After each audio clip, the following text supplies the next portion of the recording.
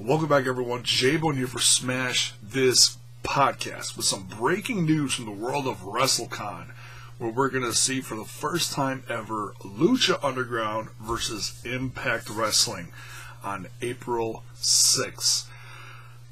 The breaking news I'm coming at you with today is the announcement of the first match that is going to be featured. This is going to be a three on three match.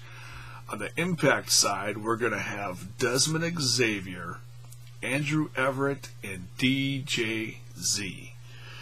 On Lucha Underground side, we're going to have King Cuerno, Drago, and Aerostar. Folks, as far as Lucha action, it doesn't get any better or any more high flying than this. I can't tell you how excited I am, especially well, number one, to see the guys from Lucha Underground that are involved in this. That's that's five now that are announced from Lucha Underground that are just off the charts, exciting to watch.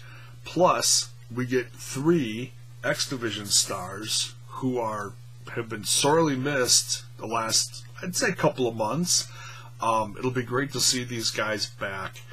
Um, not sure how long they're going to be around, but nonetheless, for this occasion, it's going to be incredible. So, there you have it, folks. The first match for this WrestleCon event on April 6th for Impact Wrestling versus Lucha Underground. For the first time ever, live on Twitch. I know I'm going to be watching. Don't you dare miss it.